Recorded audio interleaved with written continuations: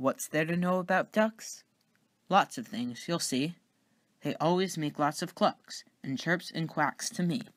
Why, you can feed them bread, and watch as they go chasing, while poking down their head, and following the food while swimming.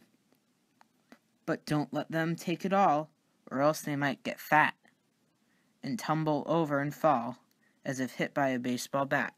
Oh, ducks are so much fun, unless, of course, they have a gun.